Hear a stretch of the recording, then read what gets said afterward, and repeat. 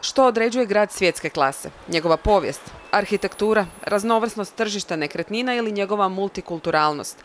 Mnogi stanovnici Londona kazat će da je njihov grad kozmopolitski i raj za potrošače. Oporavljajući se od razaranja drugog svjetskog rata, britanska prijestolnica postala je model modernog svjetskog grada, ali pojedini urbanisti kritiziraju pravac razvoja Londona.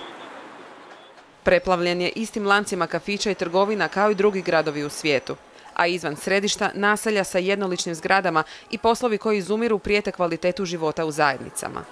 Uh, Moramo osigurati podršku za manja preduzeća, urediti ulice pretrpane automobilima koje odbijaju ljude. U suštini riječ je o stvaranju lijepih dijelova grada u koje će ljudi rado zalaziti. Hakni u istočnom Londonu nekada je bio sinonim za siromaštvo, ali stvari su se promijenile. Napori lokalnih vlasti da naselje učine prepoznatljivim donijeli su rezultate i Hakni je postao veoma poželjno mjesto za život. Hackney ima reputaciju modernog sela u Londonu. Trgovine, specijalizirani butici i gastronomska ponuda privlače posjetitelje. Također je jedan od središta rastuće britanske modne industrije.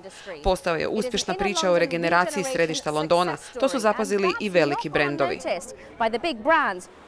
Prošle godine objavljeno da Hackney postaje modno čvorište grada koje će ponuditi velike dizajnerske marke, ali one manje, neovisne. Naselje Pekam u južnom Londonu suočavalo se sa sličnim problemima. Visoka stopa kriminala i siromaštva ostavili su traka, ali promjena se može osjetiti u zraku.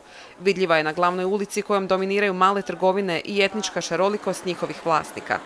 Transformaciju je pokrenulo i uvođenje novih prometnih linija. Urbanisti obećavaju da će unatoč razvoju zadržati specifičnosti naselja. Opasnost leži u konceptu konvencionalne regeneracije kada planeri određuju šta bi jedno mjesto trebalo imati, bez uzimanja u obzir onoga po čemu je prepoznatljivo.